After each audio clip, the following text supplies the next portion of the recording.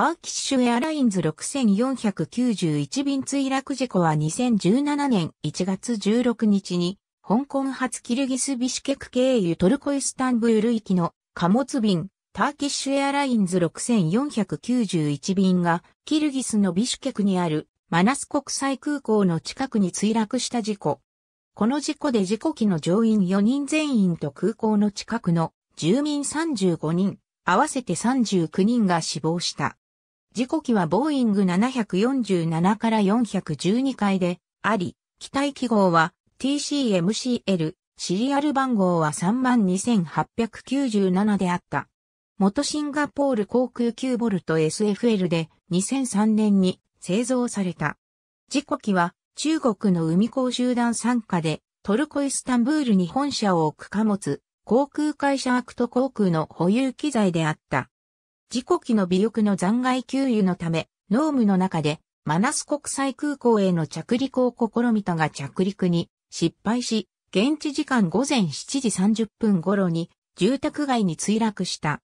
この事故で乗員4人全員と空港の西約 2km に位置するダーチャイコールスー村の住民35人、合わせて39人が死亡した。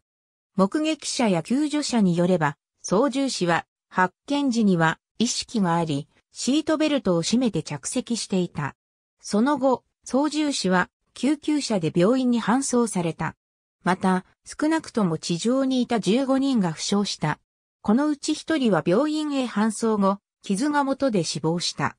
この事故で、村内の43件のうち23件の民家が壊れ、一時、火災も発生していた。事故後、マナス国際空港は閉鎖され、全便の運航を停止した。副首相は、昼前までに1000人以上の救助隊員が現場にいたと述べた。保健大臣は、現地時間の午前11時46分までに医師、及び心理学者約56人と救急隊員14人が現場に派遣されたと述べた。ロシアやカザフスタン、ベラルーシ、アゼルバイジャン、タジキスタン、ウズベキスタン、アルメニア、モルドバ、トルクメニスタン、ジョージア、トルコの大統領など数多くの国家元首や国連の代表、教皇が弔意を表した。キルギスでは1月17日を国家的に喪に服す日とすると宣言した。事故機はマナス国際空港の滑走路26の末端付近に墜落した。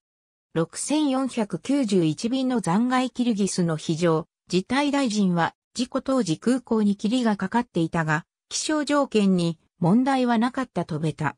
1月16日の午後、首相府は2つあるブラックボックスのうち1つを回収したと発表した。その後、もう一方も発見されていたと分かった。フライトデータレコーダーとコックピットボイスレコーダーはどちらも損傷しており、1月21日時点で FDR からデータを引き出すことができたが、CVR からはデータを引き出せていない。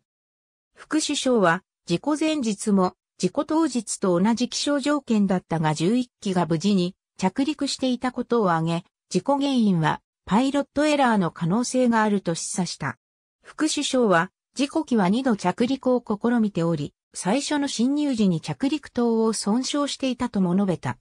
別の公式声明では、乗員は着陸また行を行わず、事故機は最初の侵入時に墜落したとされている。独立国家共同体を管轄する国家間航空委員会が技術的な調査を行っている。トルコ運輸省はキルギス当局を支援するため、同国の事故調査委員会から専門家を二人派遣したと発表した。ボーイングの技術チームは国家運輸安全委員会の要請で事故現場に向かい、NTSB の指揮の下で支援を実施している。中間報告書によれば、事故機は誤ったグライドスロープを補足していた。決心コードで目標物を視認できなかったため、乗員は電波コード58フィートでトーガスイッチを押して着陸また行を行った。しかし、安全に再上昇するのに十分なコードがなかった。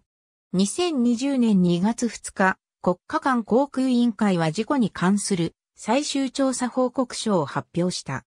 それによるとパイロットは正しいグライドスロープをキャプチャせず地上で反射した疑似グライドスロープをキャプチャしてしまったがそのことを確認せずに着陸を続行。このため機体は滑走路末端を過ぎた段階で100フィートの高度だった。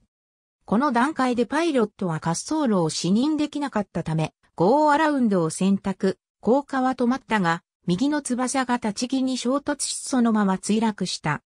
クルーの疲労、ブリーフィングの不十分、悪天候による滑走路の視認ができなかったこと、管制官が航空機の位置を確認する体制になっていなかったことなど、複数の要因が重なった結果の事故と結論付けられた。ありがとうございます。